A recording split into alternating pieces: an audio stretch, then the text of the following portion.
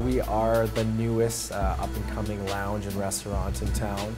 Um, we focus on our, our food is a big deal and, uh, and we also do take care of the nightlife uh, scene. We are a small place, so our vision uh, in this building is to create that homey feel for everybody. You know, you know, get to know everybody, their tables instead of just seeing them come and go. And you know, just add that atmosphere where you know everybody knows everybody in here. We take on a lot of age groups, from 18 to 40. Yeah, we're open to everybody you can come and enjoy like wine with like your girlfriends or anything like that. And uh, for guys, our food, really good meals. We have stuffed chicken wings that nobody has in town.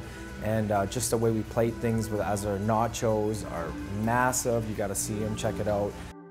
Our nightlife is amazing. Uh, we have, uh, we're collaborating, uh, collaborating with uh, Flip Entertainment. We have uh, their DJs play Wednesday, Thursday, Friday, Saturday. We create a really good atmosphere that plays a, a wide range of music.